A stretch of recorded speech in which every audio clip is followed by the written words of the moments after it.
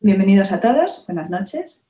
Hoy tenemos a, Esther Arias Pérez Izarbe con nosotros. Ella es eh, licenciada en Ciencias Químicas y licenciada en Documentación y es examinadora de patentes en la Oficina Española de Patentes y Marcas. Es profesora asociada de la Fundación CEPADE y de la Escuela de, de Organización Industrial, de OI. Y además fue profesora asociada de la Universidad Carlos III del 97 al año 2008 yo creo que tenemos muchísima suerte de, poder contar con ella en la clase de hoy. Nos va a hablar sobre patentes, marcas, modelos de utilidad, nos va a hablar de todo. Así que, por favor, aprovechad que, estas oportunidades no se presentan todos los días. Así que, bueno, pues eh, adelante Esther, todo tuyo. Hola María, hola a todos. Bueno, pues muchas gracias María y Paula por, esta invitación. La verdad es que, compartir eh, esta, esta, noche con vosotros para mí es un, honor, un placer y bueno, una responsabilidad. Así que espero que saquéis provecho, provecho de esta noche. Veréis que la presentación es muy larga. El problema es que este es un tema muy, muy amplio y muy extenso y resulta difícil acotar y y limitar la información a contaros. Así que es probable que alguna de las eh, transparencias que tenéis en la presentación no me dé tiempo a comentarla porque quiero ajustarme a los tiempos y sobre todo daros la posibilidad de, si queréis hacer algunas preguntas, eh, encantada de resolverlas después de, que acabemos. Y bueno, el sistema es eh, de una forma que yo voy a dejar de, vais a dejar de verme durante el tiempo en que yo vaya haciendo la presentación, pero como a veces es eh, estar simplemente a alguien y viendo una imagen que no, es, que no es viva, más que una presentación puede ser un poco duro, en determinados momentos pues volveré a, presentarme ante vosotros para que, para que me tengáis en, la mente. Y bueno, eh, la verdad es que para mí ha sido eso, un, honor y un placer compartir este, esta noche, porque además creo que vamos a llegar a más gente de la que habitualmente suele acudir a foros que, que organizamos. Como, os he comentado, no me podéis estar viendo al mismo tiempo que, la presentación, no todo el rato, con lo cual mm, va a haber momentos en los que yo mm, voy a tener que, cambiar la opción de compartir la pantalla para empezar ya con la presentación. Así que si os parece, bueno, pues vais a dejarme de ver ahora, empezaré a compartir la, presentación con vosotros y ya os digo que para que sea algo más dinámico, de vez en cuando volveremos un poco a, a vernos o, a, que vosotros me veáis las, las caras. Aquí tenéis el índice de lo que yo quiero tratar hoy. Ya os digo que es quizás demasiado ambicioso, ¿no? porque voy a abordar una primera parte más eh, legal en donde indique cuáles son los principios básicos que rigen la propiedad industrial y la propiedad intelectual. Me centraré en lo que es la propiedad industrial, que es el ámbito pues, en el que yo me muevo, la Oficina Española de Patentes y Marcas. Os explicaré de una forma más detallada en qué consisten las patentes y los modelos de utilidad y ya pasaremos a la parte más documental. Ya vista esa primera introducción de en qué consiste la propiedad industrial, pues veremos ya el papel de, de, la propiedad industrial desde un punto de vista documental y qué tipo de fuentes tenéis a vuestro alcance, que como veréis además son fuentes todas ellas gratuitas, de las que os pondré unos ejemplos eh, reales que podéis simular vosotros. Mañana, si os llaman la atención, son ejemplos muy sencillitos, no son búsquedas nada complejas, pero que de alguna forma os van a hacer saber qué bases de datos hay, hay en este mundo. Y ya, si me da tiempo al final, pero ya muy al final, pues tengo que meter la cuña publicitaria, que será hablaros de la, de la Oficina Española de Patentes, qué tipo de servicios ofrecemos para terceros. Pero bueno, solo si al final veo que, no voy mal de, mal de tiempo. Y tengo que empezar con una diapositiva así tan visual como esta, donde lo que trato es precisamente de, haceros ver que, que, la capacidad de creación del ser humano es muy, muy amplia. Y esa capacidad de creación tiene muchísimas vertientes vertientes que están muy relacionadas a lo mejor con el aspecto más artístico, vertientes más técnicas, pero que en cualquier caso ha habido que buscar mecanismos que tratarán de proteger eh, las creaciones, ¿no? que de alguna forma recompensaran el esfuerzo creador de aquel que había empleado su tiempo, su dinero, su vida en algunos casos para llegar a una creación. Y eso da lugar a la aparición de dos grandes tipos de derechos, que son por un lado la propiedad intelectual que va a recoger precisamente la protección de todo aquello que está relacionado con las creaciones eh, artísticas artísticas en su más amplio sentido, que incluirían desde una obra literaria a, una fotografía, a una pintura, a una partitura musical. Todo esto está recogido y protegido por la propiedad intelectual y la ley de propiedad intelectual lo que determina es en qué momento surge el derecho que en el caso de la propiedad intelectual es algo llamativo porque el derecho surge desde el momento en que se crea. Es decir, que si hoy tomarais una fotografía con vuestro móvil, esa fotografía ya forma parte de vuestro derecho de propiedad intelectual y si hubiera que valorar cuál va a ser la duración de este derecho sería casi desde, desde ese momento. Ese derecho, bueno, pues determina la posibilidad de que eh, mantengas Mm, de una forma íntegra eh, tu creación, es el derecho moral, y a que no se modifique la integridad de tu obra y a que se reconozca además que tú eres el autor de esa obra. Y luego, por otro lado, puede haber un conjunto de, derechos patrimoniales que si tú esa, esa, creación la pones en el mercado o, o intentas lucrarte con ella o alguien intenta lucrarse de una obra que tú has creado, bueno, pues habría que determinar cuál puede ser ese derecho patrimonial. Este, este, tipo de derecho, el derecho de propiedad intelectual, eh, tiene como particularidad, aparte de lo que os he comentado, de que el momento del nacimiento del derecho es desde la creación, que la vida es bastante amplia. La vida del derecho es hasta 70 años en el caso de, pues, las obras literarias o, musicales, 70 años hasta la muerte, después de la muerte del autor. Ya veréis que en el caso de la propiedad industrial este tiempo es bastante más, más reducido. Y luego eh, la forma en que se adquiere el derecho es muy sencilla. El derecho en sí nace desde que se hace eh, la creación, pero si uno quiere tener algo que demuestre que efectivamente ha sido el creador y quiere tener alguna fecha que dé fe, pues puede acudir al registro de la propiedad intelectual, donde hará un depósito de la obra y de esa forma quedará registrado sea que, en qué fecha esa creación se ha, se ha depositado allí. Y el registro en sí no hace una valoración real de la, obra. Hombre, hace una mini valoración en el sentido que si alguien llega a tratar de proteger el Quijote nuevamente, pues no le van a dejar porque van a hacer una evaluación. Pero no hay una evaluación formal ni de la calidad, ni de si hay obras anteriores, similares, nada. Es simplemente un mero, un mero depósito. Y el otro tipo de derechos que surgen por la creatividad del ser humano serían los que están relacionados con la propiedad industrial. La propiedad industrial es un derecho que, a diferencia de la propiedad intelectual, el derecho nace por el registro. Este derecho sí que no nace por la mera creación, sino que el derecho nace cuando se registra, se hace una solicitud. Es un derecho totalmente voluntario y es efectivo. Realmente podemos decir que tenemos el derecho cuando ha sido concedido dado que, como veremos, si hay un procedimiento administrativo que conduce desde la solicitud hasta la concesión, puede ocurrir que en algún caso no se llegue a conceder. Y la propiedad industrial abarca o engloba distintos tipos de derechos, lo que serían creaciones de carácter técnico, pues que incluirían las patentes y los modelos de utilidad, creaciones más relacionadas con la estética, con el diseño que yo le puedo dar a un producto, que sería el diseño industrial, o bien la denominación con la que yo reconozco un producto a una empresa en el mercado, que es lo que conocemos como marcas o nombres comerciales. Importante, y aunque ya os lo he dicho, ¿no? para que os quede bien centrado, el derecho de propiedad industrial es totalmente voluntario, es un derecho además con un carácter nacional, es decir, que el, efecto es en el país donde se haya hecho esa solicitud de, registro. Y es un derecho que equivale a un contrato, un contrato que estaría suscrito entre la Administración que se compromete a dar un monopolio de explotación a aquel que solicita el derecho y se le concede, y por otro lado el solicitante que se compromete a hacer una divulgación de su, de su creación, además de bueno, pues otra, otras eh, contrapartidas como son el pago de una serie de tasas que hay que hacer efectivas tanto en el momento de la solicitud como durante el tiempo en el que el derecho está en vigor para su mantenimiento.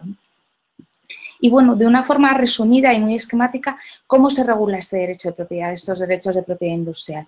Bueno, pues hay legislación en distinto rango, legislación nacional, comunitaria, internacional, y todas estas normativas lo que me van a determinar es, por un lado, quién tiene el derecho, que va a ser al primero a que registra, el derecho eh, que me otorga, que como ya os he dicho es un monopolio de explotación, yo voy a ser el único que voy a poder utilizar una determinada denominación, un determinado diseño industrial o una determinada y ese monopolio de explotación conduce a que sea el único tanto a la hora de eh, usarlo de manera efectiva, de, por ejemplo, de, de, producir yo con una determinada patente, como de impedir se haga una entrada en el territorio donde yo tengo la protección de un producto que esté protegido en nuestro país, pero que haya, haya sido fabricado en otro.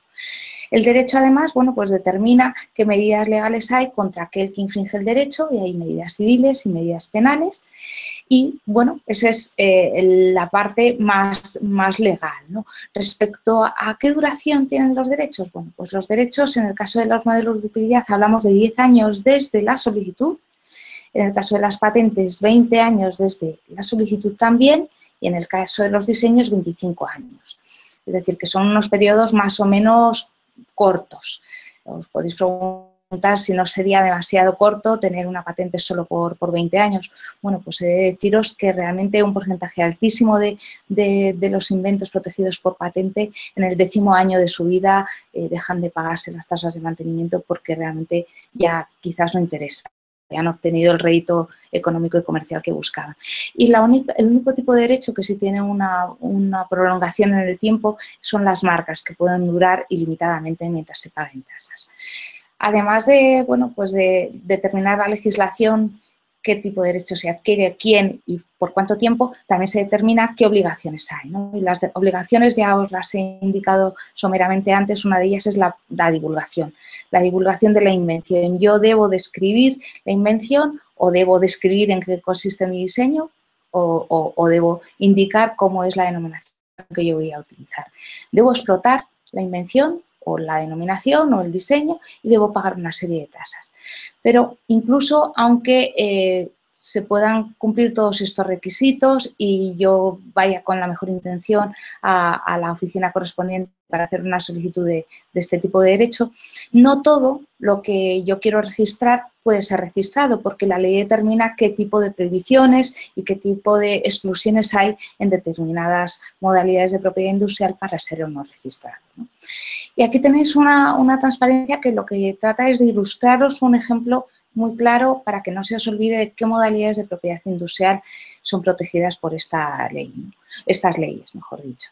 Por un lado, pues, eh, no sé si alguno de vosotros lo conoceréis, eh, este producto que comercializa una empresa que se llama Acta Pharma, que se llama Revidox, es un, producto que es un extracto de, uva que aparentemente consigue pues, mejorar la calidad de vida del que la toma y porque son es un antioxidante, el vino tiene antioxidantes, han conseguido concentrarlo. Y lo que es la tecnología de partida es propiedad del, del, CSIC, del Consejo Superior de Investigaciones Científicas, pero el CSIC no tiene una capacidad productiva, como podéis imaginar, y lo que ha hecho es ceder el uso de esta tecnología que tiene patentada a esa empresa que lo ha licenciado, Pharma. Quizás eh, recordéis la, famosa frase de Ana Botella hace, hace un tiempo cuando optaba Madrid a, a la candidatura de la sede olímpica, que en su, en su, discurso en inglés utilizó la expresión relaxing cup of café con leche. Bueno, pues esa denominación al día siguiente de la, de, de la entrevista de Ana Botella eh, apareció registrada en la, Oficina Española de Patentes y Marcas y, ha sido concedida. Y esa es una denominación que se ha registrado precisamente para identificar cafés y productos de, ese tipo. Y por último, quizás vea, no sé si lo veréis muy bien, es una muñeca, una muñeca que hace unos años causó furor en, Navidades, las Monster High, un diseño de una empresa muy conocida juguetera, Mattel, que ha registrado lo que es el diseño de, esta muñeca como diseño comunitario. Pero eh, a que yo creo que con esto os queda claro que efectivamente hay una serie de creaciones que se pueden proteger, no todo lo que tenemos en nuestra cabeza se puede proteger, porque hay algo que no podemos proteger, como son las ideas. Las ideas per se, una idea sin algo que, que lo soporte desde un punto de vista técnico o descriptivo, no va a poder ser protegido como patente o, si no se trata de una tecnología como diseño o como denominación. Y a lo mejor habéis oído hablar de este caso, un inventor malagueño que mm, se quejó mucho en, prensa, en la televisión, en redes sociales, porque la FIFA le había copiado un spray para marcar en los campos de fútbol el punto donde se debía poner la pelota. Bueno, pues esta persona tuvo esta idea, que la idea en sí es muy buena, pero no hizo lo que se debe hacer de proteger esta idea de una forma clara y concreta a través de un registro de propiedad industrial, acudiendo a la oficina con una, solicitud de, marca, perdón, de patente, como luego os enseñaré, y no hizo ese, ese, trámite, de forma que la idea en sí era buena, pero eh, aquello no fue registrado. Y además os planteo una, aquí una, pregunta para que os hagáis realmente si yo utilizara, por ejemplo, un spray de afeitar, eh, una espuma de afeitar, ¿no conseguiría el mismo efecto? O incluso la nata de, las, de las fresas, la nata en spray. Bueno, pues realmente Podría utilizar eso también para marcar un, campo de fútbol, pero evidentemente no se utiliza porque técnicamente no es viable luego tener el campo lleno de espuma. Aquello resbalaría, quedaría a lo mejor manchado y bueno, sería un peligro. Con lo cual, evidentemente yo puedo tener una idea muy buena, pero tengo que materializarla en algo que describa exactamente cómo llegar a proteger esa, esa invención. Y bueno, pues la ley eh, voy a ir un poquito más rápido porque veo que ya me empiezo a, expandir. Eh, la, ley eh, también determina qué se puede proteger o no se puede proteger. Es decir, no solo, ya no solo las ideas, sino que determinadas cosas se van a poder proteger y otras no.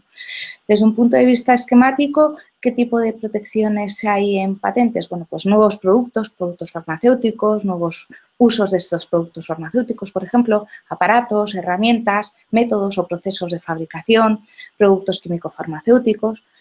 Y para conseguir esta protección se deben cumplir una serie de requisitos, es decir, que la invención que yo quiero proteger tiene que cumplir los requisitos que veis en la imagen. Y uno más, el de la suficiencia de la descripción, pero no me voy a detener en él. Realmente, para que una invención sea protegible como patente, en primer lugar, tiene que tener una aplicación industrial, tiene que estar eh, eh, ser nueva a nivel mundial, es decir, que aquello que yo estoy tratando de proteger no forme parte del estado de la técnica anterior, es decir, que hasta ese momento no hubiera sido conocido. Por otro lado, tiene que tener lo que se llama actividad inventiva, es decir, que esa eh, creación no resulte obvia a un experto en la materia, que este es un concepto algo críptico y difícil de valorar, y que esa invención esté escrita lo suficientemente como para que un experto pudiera llevarla a cabo con la información que, tenemos en, el documento de patente. Porque algo que, siempre me gusta recalcar es que en las oficinas de patentes no tenemos ni pollatas de laboratorio ni almacenes con prototipos, es decir, que nuestra valoración se hace única y exclusivamente frente a un documento que llega a nuestras manos y debemos valorar y enjuiciar por el texto y por los dibujos que acompañan, nada más. Entonces, bueno, pues eh, a través de esa descripción es donde se podría llegar a tratar de replicar una invención. Pero ya os he dicho que no todo lo que se, crea puede llegar a ser registrado porque la ley establece exclusiones. Por ejemplo, los descubrimientos científicos per se no son patentables, o las razas animales o vegetales, o lo que incluimos dentro del apartado de invenciones contrarias al orden público, ¿no? que, en, esta, en este epígrafe podrían ir incluido todo lo que está relacionado con los embriones humanos, por ejemplo. Y además de las patentes, hay algún tipo de, de creaciones que no son tan complejas, son a lo mejor mejoras de algo ya conocido, que en lugar de utilizar la vía de las patentes para su protección, utilizan la vía del modelo de utilidad, que son invenciones menores. Aquí podéis ver eh, y quiero que os quedéis con este ejemplo porque luego lo utilizaremos cuando veamos el ejemplo de búsqueda, es un chubasquero que está fabricado de un material eh, que es biodegradable, de ácido poliláctico, y eh, tiene como particularidad, además del material, que el propio chubasquero tiene un bolsillo con una serie de semillas que en el momento que te cansas ya del chubasquero o se rompe y ha acabado su vida útil, puedes plantar todo y te acaba naciendo un arbolito o, o lo que tengan las semillas a partir de ese chubasquero. este chubasquero eh, lo comercializa una empresa, quedaros con el nombre que se llama Equilicua, porque ya os digo que luego lo utilizaremos en el ejemplo de búsqueda que os voy a poner. Y bueno, eh, todo este marco legal eh, está encauzado a llegar a tener un título de propiedad industrial que para tener este título tengo que seguir una serie de pasos que van desde hacer una solicitud hasta la concesión. Este proceso es largo y varía un poco en función de la modalidad de propiedad industrial el tiempo que tardemos. En marcas, pues alrededor de cuatro o cinco meses podemos tener una marca. Un diseño industrial en tres días incluso puede estar ya concedido y en una patente pues hablamos ya de cifras mucho más altas, prácticamente tres años. Pero ¿qué es lo que me interesa recalcar aquí? Bueno, aparte de que es un proceso que es largo en el tiempo, va teniendo una serie de hitos, de momentos que son relevantes porque eso van a dar lugar a puntos donde van a, a surgir documentos que van a ser consultables. En una primera fase, el expediente administrativo. Cuando yo hago la solicitud de un registro de propiedad industrial, se abre un expediente administrativo que durante un tiempo será secreto, pero luego llegará un momento que podrá ser consultable y accesible por terceros. Después viene lo que sería el examen formal. El examen formal comprobamos que efectivamente eh, esa eh, información que yo estoy aportando es eh, correcta, que sigue los principios que, que la ley determina. Bueno, pues después de ese examen formal se publica la solicitud de forma que ya hay el primer punto en el que ya hay un documento que es consultable y accesible.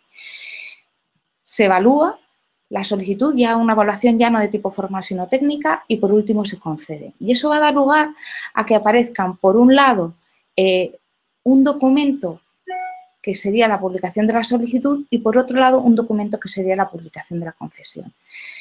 Al mismo tiempo, además de lo que son documentos en sí, eh, se hacen menciones de los actos administrativos que van ocurriendo y se publican en lo que se conoce como Boletín Oficial de la Propiedad Industrial.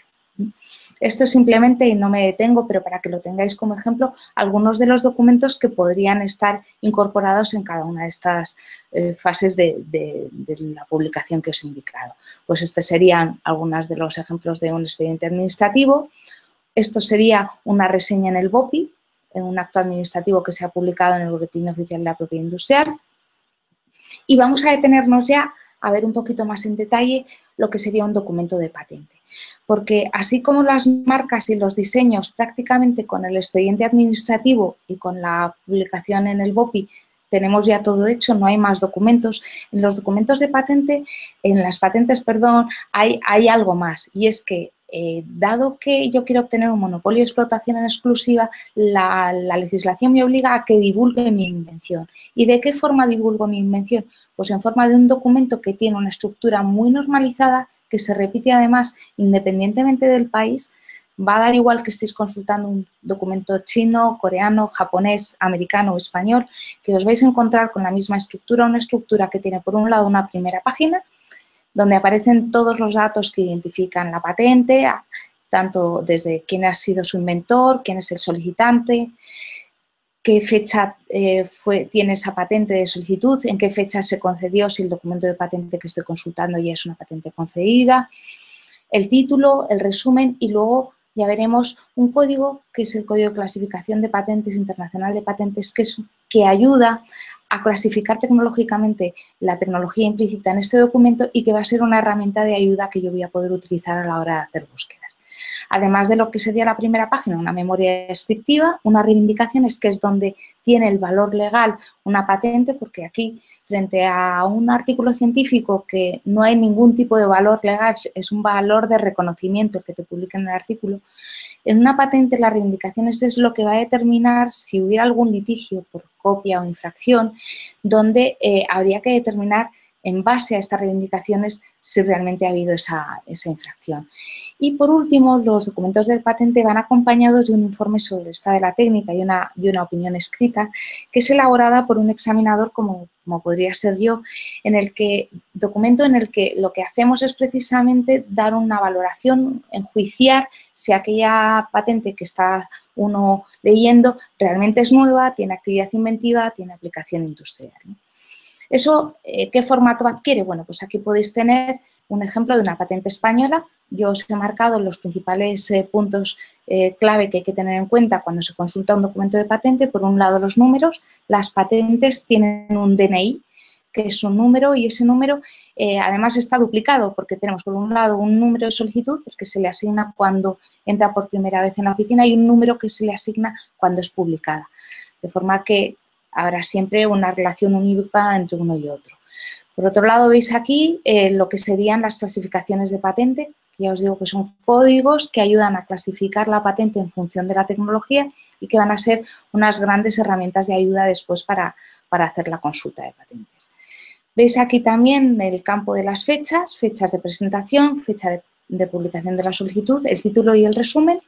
Y algo que también me gustaría que anotarais y os quedara en, en mente, como es este código que veis aquí, A1, que está marcado con una flecha en verde, que es el tipo de publicación.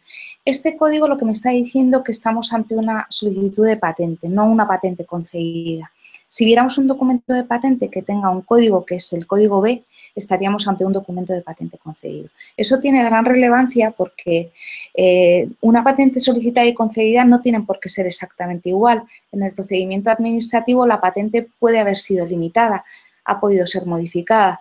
Con lo cual, si yo estoy pensando, por ejemplo, en comprar una tecnología y me dicen que esta patente está concedida, yo tengo que leer la patente concedida, nunca la solicitada, porque puede haber información que aparezca en la solicitada que después desaparezca, porque aquello realmente no haya sido tramitado en esa forma. La parte correspondiente a la descripción y a las reivindicaciones, que tienen, pues como ya os digo, en el caso de las reivindicaciones, el valor legal viene determinada por esta parte, y el informe con, la opinión escrita que elabora un examinador como, nosotros. En la parte de la izquierda de, esta, de esta transparencia veis lo que sería el informe per se. El informe tiene una estructura que tampoco es demasiado clara si nunca lo habéis visto. Es una estructura en columnas donde yo tengo una columna que pone categoría, otra documentos citado y una tercera con reivindicaciones afectadas.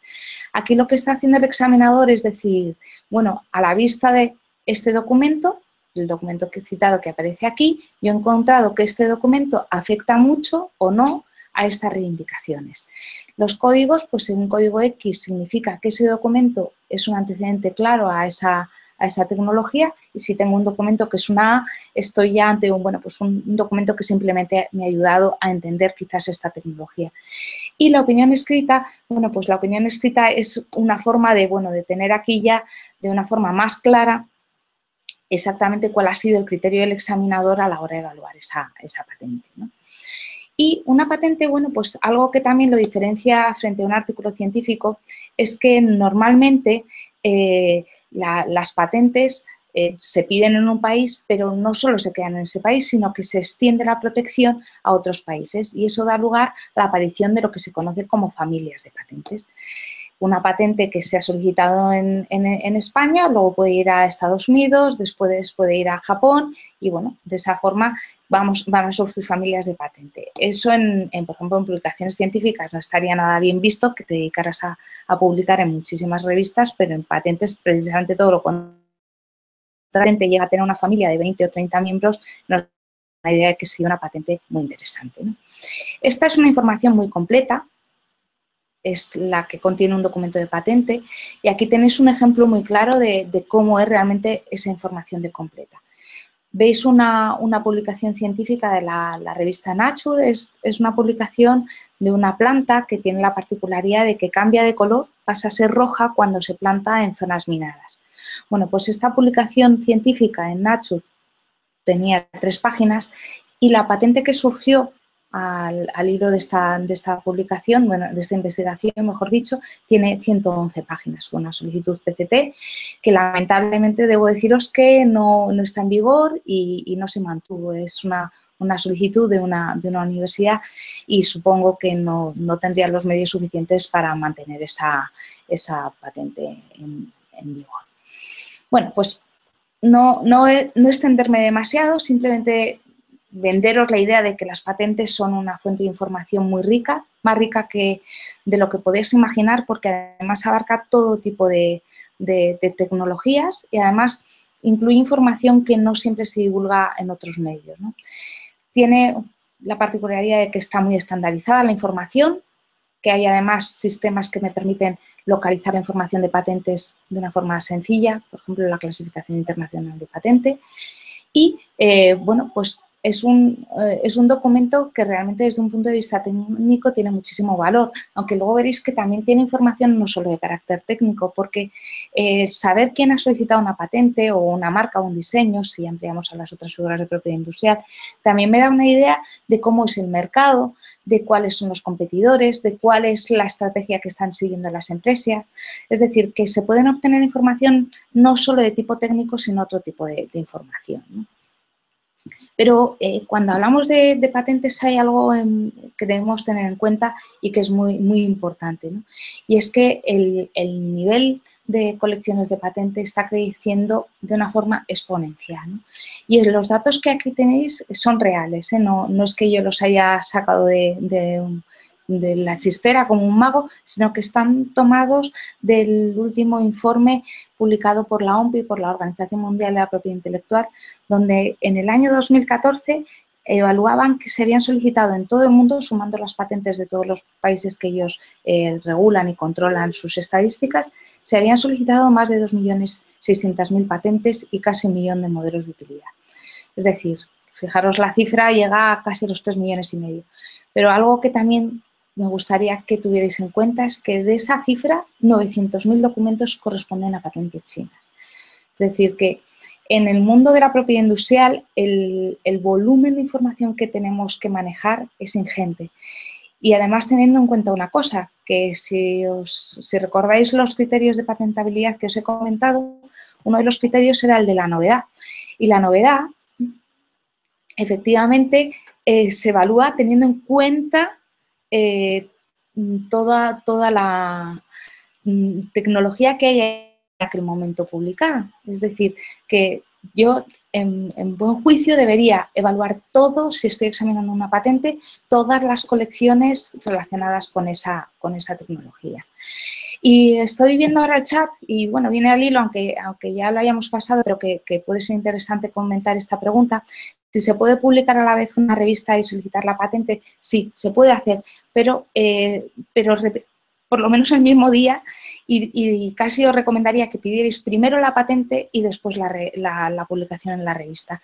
Porque sin querer eh, meter la pata, si vosotros hacéis primero una publicación en una revista y después vais a hacer una solicitud de patente, vosotros mismos estáis destruyendo la, la novedad de vuestra invención. Así que, bueno, tener en eso mucho cuidado.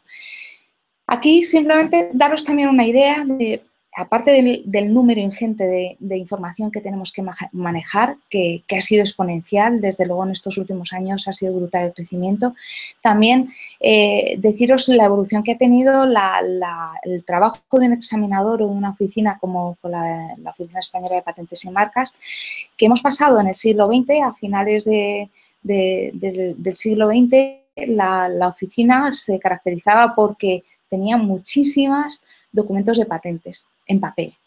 Solo para que os hagáis una idea, ¿no? 57.000 cajetines de la colección que teníamos clasificada eh, por temática y luego la colección numérica. En total había casi 12 millones de documentos, lo que suponía 4.200 metros cuadrados. ¿Qué ha pasado con esta colección? Bueno, pues, eh, pues ahí está, parte de ella hemos podido desprendernos, deshacernos, porque no tenía un valor eh, de ningún tipo, ni administrativo, porque era una colección sin valor administrativo, simplemente era un valor informativo, porque ahora tenemos todo, todo, todo a través de Internet. Y cuando os digo todo, es que podéis acceder a la colección íntegra de patentes americanas desde 1720 al alcance de vuestra mano, con las bases de datos que os voy a enseñar ahora. Es decir, todo está a través de Internet ahora accesible y además de, forma, gratuita. Y en, este gran volumen de información, que hay muchísimo, pues han surgido muchas bases de datos. Bases de datos que en algunos casos son de carácter oficial y podríamos decir que todas las grandes oficinas de, de patentes del mundo tienen, tienen bases de datos de carácter gratuito que permiten su acceso a ella porque, bueno, pues las, oficinas nacionales se comprometen a, otorgar un monopolio de explotación, pero al mismo tiempo eh, quieren que, ese monopolio de explotación sea también repercuta en la sociedad y es decir, por eso se da un tiempo, 20 años, para que después cualquier otro pueda utilizar esa tecnología. Y eh, que esa tecnología a la que se le da un monopolio pues forme parte del acervo tecnológico y sea publicada y sea accesible por, cualquiera. Bueno, pues eh, todas las oficinas de patentes tienen eh, lo que sería colecciones de expedientes, tienen sus boletines oficiales de la propiedad industrial, tienen también información legal, eh, tienen también localizadores de marcas, bueno, también información bibliográfica y en general también las oficinas de patente ofrecen servicios documentales que ya os he dicho que si me da tiempo luego, luego os hablaré de los que ofrece la oficina. Pero además de estas bases oficiales, hay bases de datos gratuitas que han surgido desde un punto de vista privado, no hay nada eh, en ella eh, regido por una organización oficial, pero que bueno, pues son, son bases de datos que son interesantes en algunos casos, pues, por ejemplo Google Patents, que, a lo mejor no sabíais de su existencia, pero Google tiene ahora una colección de, cinco grandes países de patentes y permite hacer búsquedas muy interesantes. Y luego hay una serie de bases de datos de pago que, bueno, que eso ya para los que queráis introduciros mucho en el mundo de las búsquedas y la consulta de, base, de patentes, pues pueden ser interesantes. Pero lo normal es que vayáis a consultar las bases de datos gratuitas. ¿no? Eh, eh, disculpar un momento, voy a ver si hay alguna pregunta que, merezca la pena contestar ahora. Vale, que no, puede ser la CDU actualizada. Bueno, sí, es cierto que la verdad es que la CDU debería ser gratuita. En cambio, la, la clasificación internacional de patentes veréis que sí se puede hacer gratuitamente. Bueno, pues ya he comentado lo que es el, aspecto legal, eh, que las, patentes o las marcas o diseños surgen por una normativa. He comentado el aspecto eh, de documental, ¿no? que hay una serie de documentos que surgen eh, precisamente en este procedimiento administrativo. Os voy a comentar ahora algunas bases de datos que están a vuestro alcance y que debéis conocer por lo menos de oídas si queréis empezar a hacer una búsqueda de, de patentes. Bueno, tengo que empezar mencionando la base de datos de la oficina, la, base de datos Invenés, que es la base de datos con todas las patentes españolas desde el año 1960. Esta cifra va, a aumentar de forma que va a llegar un momento que tengamos la colección completa de todas las patentes españolas desde 1820. Es una base de datos gratuita, ya os digo, tiene distintos niveles de buscadores y podéis llegar a un documento de patente íntegro sin tener que pagar nada al PDF. Esta base de datos, la que os menciono ahora, es Spacenet, es una base de datos que contiene más de 70 millones de documentos, está eh, regida o la controla la Oficina Europea de Patentes y contiene documentación de más de 90 países, aparte de 70 millones de documentos de 90 países. Tiene una serie de ventajas porque permite, bueno, frente a, nuestra base de datos, unas ventajas y otras desventajas. Como por ejemplo que tiene un servicio que permite eh, traducir automáticamente un documento que a lo mejor esté en un idioma como pueda ser el alemán o otro idioma. No para todos los documentos es activo este servicio, pero se pueden hacer traducciones automáticas de los documentos de patente. Y luego tiene la posibilidad de hacer consultas de citas a través de, de, esta base de datos. Es importante reseñaros porque además, eh, dado que, hay yo creo que bastantes participantes que estáis aquí del otro lado del charco, además a los que os animo a, consultar esta base de datos mucho y os agradezco mucho el esfuerzo de estar oyéndonos desde allá, ¿no? Hace, hace ilusión, la verdad te hermana un poco más. Bueno, pues deciros que aparte de lo que sería Spacenet, eh, con una colección de 90 millones, perdón, 70 millones de documentos, 90 países, Spacenet tiene la versión eh, latinoamericana con, patentes de, de 20 países, incluido España, del ámbito latinoamericano. Casi diría que esta es la única base de datos donde vais a poder consultar patentes de países de Latinoamérica. Ni siquiera las bases de datos de pago tienen la, cobertura y la riqueza documental que tiene esta base de datos. Y yo podría acabar aquí y os diría, podéis manejaros prácticamente con, la base de datos Invenes, con Spacenet y con la TIPAD para hacer cualquier tipo de consulta. Pero, bueno, para que sepáis que existen, mencionaros algún otro tipo de base de datos. Pues, por ejemplo, el Global Patent Index. Global Patent Index realmente es una base de datos similar a Spacenet, lo que pasa que aquí sí que hay ya un pago. Un pago que no es muy elevado, son alrededor de 750 eh, euros para segundo suscriptor, 800, 825 euros.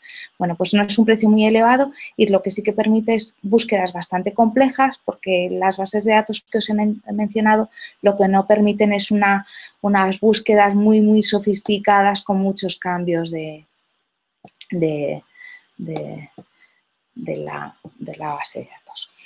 Bueno, además del Global Patent Index, tenemos Patent Scope. Patent Scope eh, es otra base de datos que en este caso la controla la Organización Mundial de la Propiedad Intelectual, la OMPI, tiene 44 colecciones. Y ahora vendrá vuestra pregunta, bueno, ¿y qué colecciones son estas? ¿Cómo se diferencian las colecciones de Spacenet y las de PatentScope? ¿Son las mismas? Bueno, pues se solapan. Es cierto que son bases de datos que se solapan. Lo que pasa que, bueno, que, cada, que, que a lo mejor WIPO tiene alguna colección que no tiene Spacenet y a la inversa. Y luego, bueno, pues las utilidades que te ofrece la base de datos.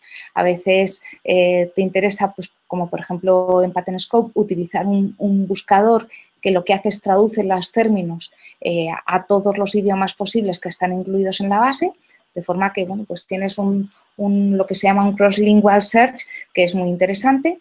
Además, si veis aquí en esta transparencia yo os he puesto un dibujito con el típico quesito, bueno, pues esta herramienta te permite hacer dibujos eh, estadísticos, que eso puede en un momento determinado ser, ser muy interesante y llegar a poder eh, visualizar, por ejemplo, de una búsqueda, cómo está repartida esa, esa información.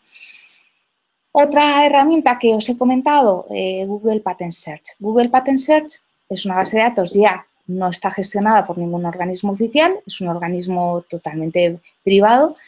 Pero ¿por qué la menciono? Bueno, pues porque esta herramienta, aunque tenga una cobertura mucho menor, solo tiene seis colecciones, la americana, la europea, las PCT, alemanas, chinas y canadienses, tiene la ventaja de que permite consultar el texto de una patente china en, inglés, en una traducción que se hace automáticamente en el momento, pero que están en general bastante bien hechas. Entonces, esa posibilidad de poder consultar un documento chino en, un idioma que es un poco más reconocible, la verdad es que es, muy valorable.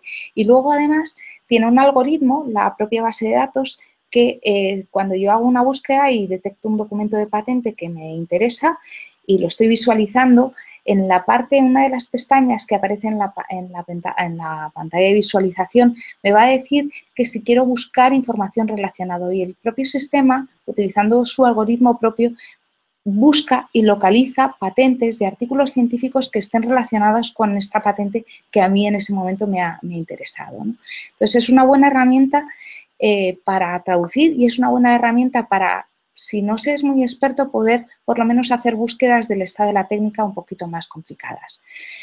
Además de lo que serían bases de datos de información bibliográfica, no debemos olvidar que todos los derechos de propiedad industrial tienen un valor legal, no dejan de ser expedientes con un valor legal. Bueno, pues hay bases de datos que me van a permitir jugar y controlar, más que jugar, buscar, analizar en qué situación está un determinado expediente de propiedad industrial. Hay bases de datos nacionales, cada país tiene su propio registro y hay una base de datos internacional, IMPADO, que trata de agrupar la información registral de, una patente que a lo mejor se ha extendido en un conjunto de países al mismo tiempo, pues saber qué ha pasado con ese expediente, porque puede suceder que se mantenga el expediente en España y en cambio pues deje de, eh, la patente estar en vigor en Francia o en Alemania. Y bueno, esta es la única base de datos IMPADO que me permitiría tener un valor legal común para una determinada invención para un conjunto de países. Bueno, aquí simplemente que veáis eh, lo que sería en la base de datos de información legal de, la Oficina Europea de Patentes, donde bueno, pues es un, registro donde podéis consultar con un determinado expediente eh, la, situación legal en la que está y todos los documentos que hay asociados. Y esta otra pues es la misma situación, la base de datos de información registral, pero de la Oficina Americana de Patentes, PAER. Bueno, pues al final eh, nos vamos a encontrar con que no hay mm, sistemas perfectos, que las búsquedas de patentes se pueden eh, ser complejas y os recomiendo que consultéis blogs o consultéis expertos para, para, hacer este tipo de consultas. Como siempre veo que me voy, me voy enrollando, me enrollo mucho y voy ya un poquillo justilla, así que voy a acelerar un poco más todavía de lo que, ya estaba hablando rápido, pero quiero poneros al menos los cuatro ejemplos que he hecho de, búsqueda muy sencilla para que animaros a, hacerlo. Bueno, pues algo antes de hacer estos ejemplos que sí debo comentaros y que ya os lo he comentado al principio, es que las patentes en función de su temática se clasifican por una clasificación internacional, la clasificación internacional de patente. Eso lleva a que cuando vosotros estéis haciendo una búsqueda temática va a haber dos eh, piezas clave en las búsquedas temáticas. No vais a tener que buscar solo por palabras clave, por, sinónimos de una determinada tecnología, sino que tenéis que buscar también a través de la clasificación internacional de patente. ¿Dónde se accede a ella? Bueno, pues se accede a través de Internet, accedéis en la página de la Oficina Española de, Patentes y, Marcas y podéis consultar, eh, bueno, si detectáis una patente con un código de clasificación concreto, pues podéis llegar a determinar en qué consiste ese código para saber la definición de ese código y tiene también, tenemos también un sistema que ayuda eh, a, clasificar documentos. Se llama IPCAT, no, no os he puesto ningún ejemplo aquí, pero que sepáis que podríais utilizar esa herramienta para tratar de clasificar un documento de, patente. Y que es el que os estoy poniendo aquí ahora. Bueno, pues las clasificaciones de patentes son, muy exhaustivas. Para que os hagáis una idea, hay más de 70.000 grupos, es decir, que se clasifica la tecnología en muchísimos, muchísimos subgrupos y sectores. Y bueno, un ejemplo de cómo podría yo plantear una búsqueda de, patentes que fuera de una membrana polimérica para aparatos de hemodiálisis. Así parece algo muy complejo, pero realmente son términos bastante sencillos. Bueno, pues eh, primero ¿qué recomendación os haría? Que buscarais todos los sinónimos en español y en inglés que estuvieran relacionados con, esa tecnología. Aquí tenéis un ejemplo simplemente de qué términos podríais buscar. Pero además os animaría a que buscarais la, clasificación de, patentes. Pero aquí hay un, pequeño problema. Resulta que la clasificación es tan exhaustiva que podemos mm, tener problemas a la hora de clasificar. Porque yo puedo clasificar por el tipo de material con el que está hecha esta membrana y hay un código de clasificación para membranas. Puedo utilizar la clasificación del proceso en el que yo utilizo la membrana. Sería otra posibilidad. Además, ¿en qué tipo de aparato utilizo esta membrana? Otro código de clasificación. De forma que al final voy a tener muchísimos códigos de clasificación que introducir también en mis búsquedas. Es decir, si quiero hacer una búsqueda exhaustiva voy a tener que ser muy rica utilizando sinónimos y además muy rica utilizando clasificación. Y para hacer esto todavía más complicado, bueno, pues además de la clasificación internacional de patentes, la Oficina Europea de Patentes tiene su propio sistema de clasificación. para que os hagáis una idea, un código de clasificación que en la clasificación internacional tiene un único código, en la clasificación europea hay 54 códigos. Muchísimos. Eso es, bueno, pues el problema de, las búsquedas de patentes que vais a tener que jugar y lidiar pues, con un montón de bases de datos, un montón de idiomas, un montón de documentos, un montón de clasificaciones y, encima con tecnología. Pero bueno, vamos a ir a, los ejemplos, a los ejemplos prácticos. Yo os he planteado cuatro ejemplos muy, muy sencillos, simplemente para que, podáis además replicar vosotros. Ya os digo, os animo a que mañana lo, lo hagáis. Y, y que tratan de enseñaros que está al alcance de vuestra mano. El primer ejemplo es un ejemplo en el que yo combino la búsqueda de marcas, la búsqueda en expedientes y la búsqueda en patentes. Bueno, recordáis que al principio os he comentado el chubasquero que tenía una serie de semillas en un bolsillo y que cuando ya me cansaba de él lo podía plantar, que estaba protegido como modelo de utilidad.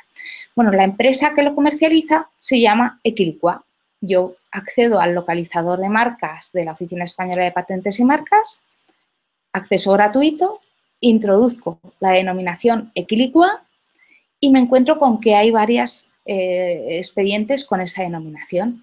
Y de estos expedientes, bueno, pues veo que hay uno en concreto, yo eh, aquí, pues, pues, como esto es un pantallazo, no lo veis a lo mejor demasiado nítidamente, pero si esto lo replicáis mañana o esta noche, al que, aquel que tenga mucho interés en, hacerlo ahora, bueno, pues pinchando en el número de ese expediente voy a poder acceder a lo que sería la información registrar completa y, creerme, esto es real, yo lo he hecho sin, sin gran complejidad, llego a detectar que efectivamente la marca Equilicua está registrada. Está registrada además por una empresa que se llama Equilicua Materials. Bueno, dices, bueno, pues voy a ver si este chubasquero, me voy a ir ahora a la base de datos de, patentes, a ver si este chubasquero pues está registrado como patente o modelo de utilidad. Voy a la base de datos Invenes, que os va a aparecer una pantalla de búsqueda con una serie de campos buscables y yo aquí voy a poner la palabra equilicua como solicitante y digo, bueno, será, lo normal es que equilicua sea el solicitante de este chubasquero. Y me aparecen cero resultados, no encuentro nada. Bueno, en este caso, como no es muy complicada la búsqueda, tengo la posibilidad de que si meto la palabra chubasquero y semilla, voy a encontrar una referencia. Esta es una búsqueda muy sencillita porque había dos términos clave muy, muy relevantes, que era un chubasquero y que era una semilla. Bueno, pues yo puedo llegar a consultar lo que sería la referencia bibliográfica de este expediente, de esta modelo de utilidad, y veo que además la denominación que aparece eh, para solicitar es distinta a la que yo creía que era aparece que este modelo de utilidad está a nombre de la empresa Good For. Aquí ya hay algo que choca y dices, ¿por qué es Good For? En cambio, la marca la he registrado de Quilicua. Bueno, pues si yo ya consulto el expediente íntegro, el expediente administrativo, que puedo hacerlo a través de esta otra base de datos que se llama CEO, me encuentro con que este modelo de utilidad en un momento determinado se ha transferido la titularidad y ha pasado de Good For eh, no recuerdo exactamente el nombre, sí, Good For, a Equilicua. ¿Por qué os pongo este ejemplo? Pues primero para haceros ver que a través de una marca podría haber llegado a la información, para haceros ver que eh, puedo ir pasando de una base de datos a otra y para haceros ver que la información bibliográfica no siempre coincide con la información registral. Es decir, que cuando consultáis bases de datos de patente, ya sea Spacenet o sea Invenes o PatentScope, lo que vais a consultar es un documento concreto que se publicó en una fecha concreta. Pero si ese documento, pues por ejemplo, caduca o el solicitante cambia, no va a aparecer registrado, no va a haber una nueva publicación del folleto, con lo cual ese tipo de información solo la vais a poder obtener si consultáis la información registral. Bueno, este es el primer ejemplo. Ahora un ejemplo también rápido de cómo la clasificación internacional de patentes me puede ayudar a buscar o la clasificación europea. No sé si habéis visto este robot, es un robot que, ayuda a fabricar comida. Tú lo programas y te, son, unos brazos mecánicos. Esta tecnología la han desarrollado dos empresas, Molly Robotics y Shadow Robot. Y bueno, pues por curiosidad uno puede ir a Spacenet para ver si estas empresas tienen, tienen registros y efectivamente Shadow Robot tiene 16 referencias. Bueno, pues estas 16 eh, referencias, bueno, pues yo puedo visualizar a alguna de ellas si efectivamente corresponden a brazos mecánicos, brazos eh, pues, o bien manos o brazos más completos. Si yo visualizo de una forma más detallada una de estas referencias, veo que tiene una serie de códigos de clasificación. Veis aquí, por ejemplo, que eh, esta mano de la izquierda tiene la clasificación B25J15-0009 que corresponde a hand tools que eh, replican a manos humanas. Bueno, pues yo lo, lo, que hago es, digo, voy a ver si hay más, más documentos que tengan esta clasificación y me encuentro con que hay más de 500 documentos con esta clasificación. Pero fijaros en este sobre todo. ¿Por qué os pongo este ejemplo? Porque gracias a la clasificación llegamos a consultar esta referencia bibliográfica que corresponde a una patente americana de 1865, de la que en la parte de la izquierda solo tenemos los datos bibliográficos, pero que yo en Spacenet, en Spacenet soy capaz de visualizar el documento completo pinchando en, el documento voy a llegar a visualizar incluso la foto, en este caso, bueno, pues porque está en color, ¿no? Eh, eh, muy bonita de este, de este expediente. Es decir, que eh, la clasificación a veces nos ayuda a, localizar documentos que si hubiéramos sido muy limitativos y hubiéramos utilizado palabras clave, pues no habríamos llegado a encontrarlos.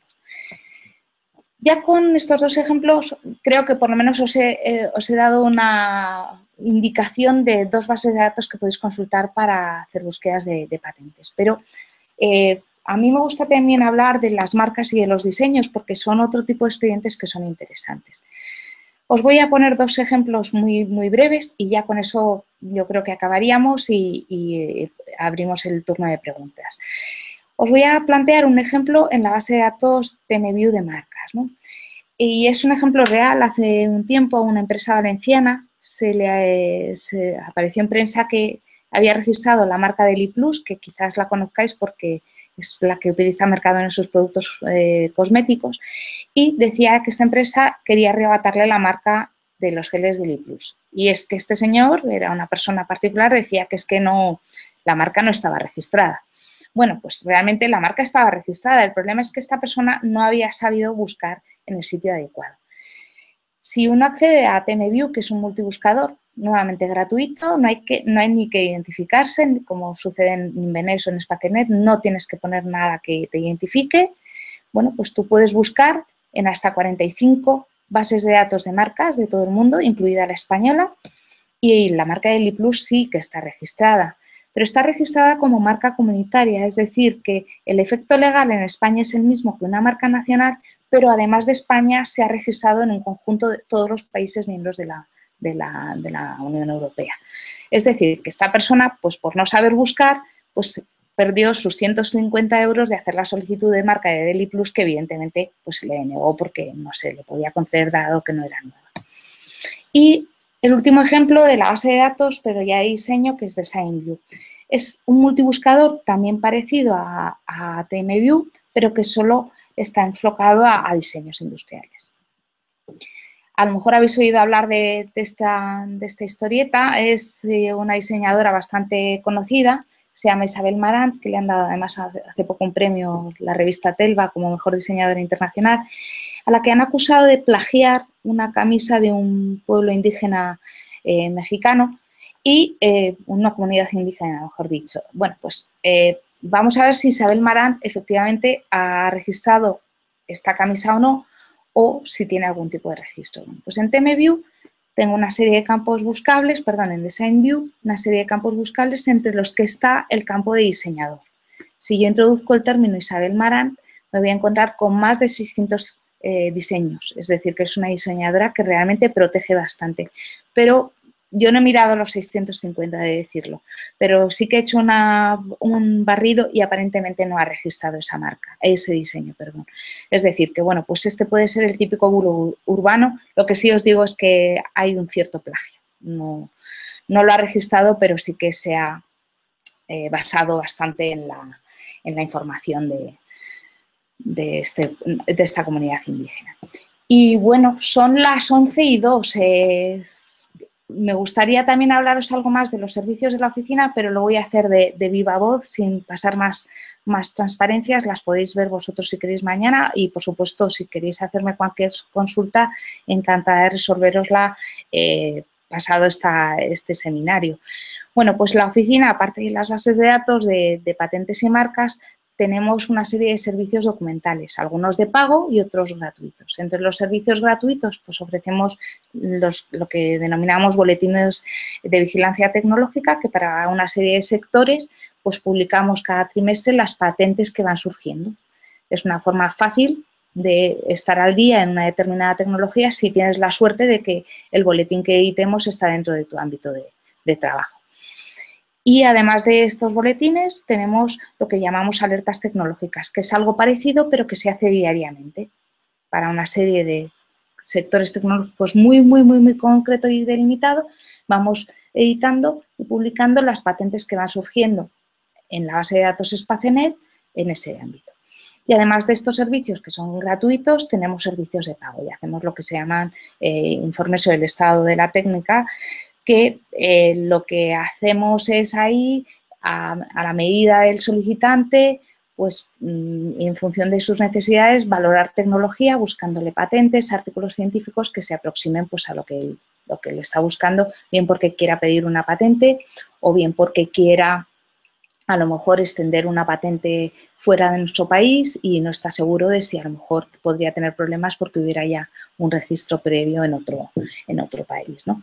Ya os digo que aquí tenéis una explicación un poquito más detallada de este tipo de, informe y que, bueno, que por mi parte encantada de, haberos dado este, este barrido, quizás demasiado amplio porque he tratado de tocar demasiados palos, pero bueno, yo creo que también hace falta que sepáis la importancia de, eh, los derechos de propiedad industrial desde un punto de vista legal y documental y todas las herramientas que tenéis a, vuestra, a vuestro alcance. Si, alguno... Ah, eh, sí, veo, veo, veo ahí alguna pregunta. eh, veo que alguno de vosotros se ha animado a hacer la, consulta de Deli Plus en TMView y aparece efectivamente distintas marcas. Bueno, es que no, no solo Mercadona ha podido registrar la marca Deli Plus, porque la marca Deli Plus puede estar registrada a lo mejor para productos farmacéuticos o cosméticos, pero también podría ser el nombre de, un coche o una marca de ropa. Las marcas se rigen por lo que se llama el principio de especialidad y es decir, que cuando se solicita una marca, se solicita eh, eh, para una clase concreta. Entonces, es posible que una marca esté registrada en, distintos sitios. Seguro que todos recordáis la marca Magno. Magno es un brandy y también es un champú, un, gel de baño, mejor dicho, y son empresas distintas. Así que, bueno, por eso aparecen distintas marcas. Y luego, además, tener en cuenta que estáis buscando en un multibuscador con un montón de países, con lo cual estáis buscando la marca no solo en España, sino en más, en más países.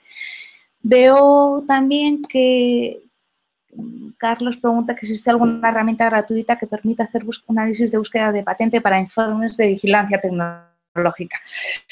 Eh, gratuitas, gratuitas realmente no, no, hay.